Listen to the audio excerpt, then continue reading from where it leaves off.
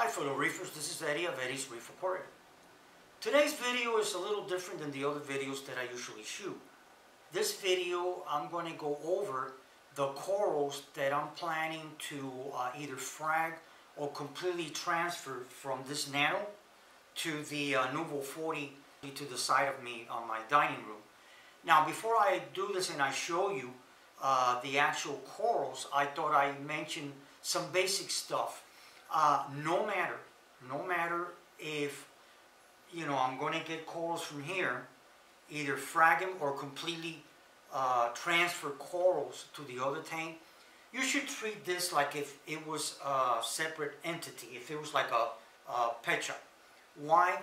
Because no matter, uh, the rule of, of thought in this hobby is that no matter if, if I was to set up another identical tank like this one, identical rocks, salinity, the same um, salt mix and all that, you are going to have different uh, parameters.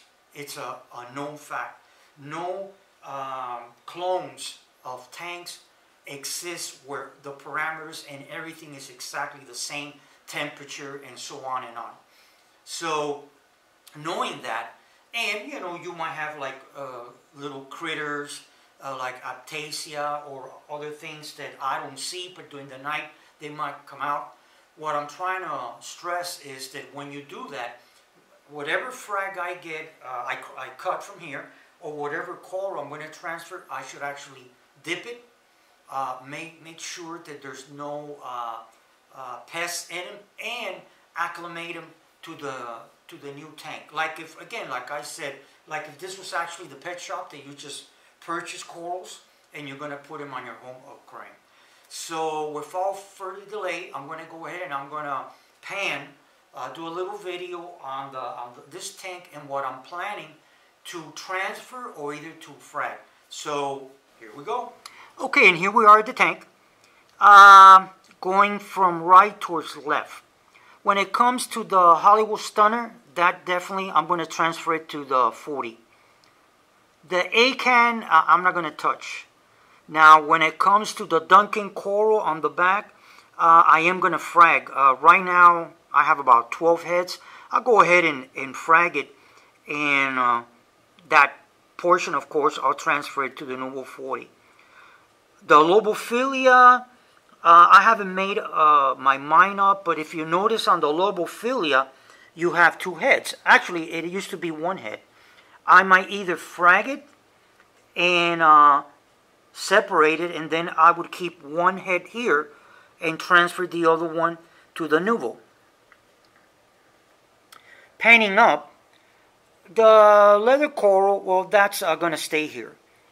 Now, when it comes to the neon uh, candy cane, those I'm definitely going to go ahead frag it and I'm going to put, of course, that uh, portion on the Nuvo 40.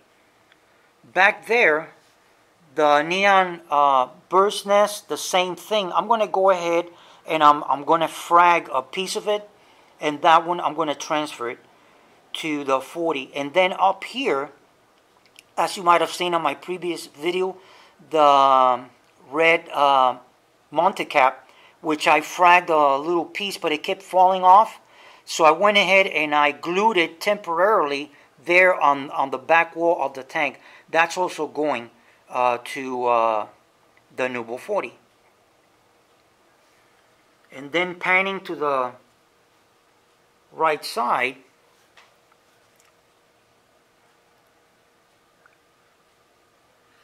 uh, this bird nest, um, I'm going to keep it here. And then panning to the left,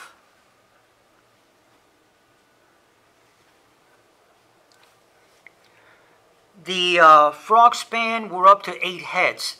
That one, um, uh, I, have decided to uh, keep it here. The, the leather coral that you see back here, also I'm going to leave it here. When it comes to the mushrooms, I haven't decided yet uh, if I'm going to frag uh, some of these blue or the red uh, Rhodactis I might take one of these and put them over there or not. Those still are on standby. I uh, don't know. So, folks, that's basically it. That's what I wanted to show you on this short video. I hope you liked it. If you did, just hit the thumbs up or you're welcome to subscribe to my channel. And like I say at the end of all of my videos, happy reefing. Thank you very much. Bye-bye.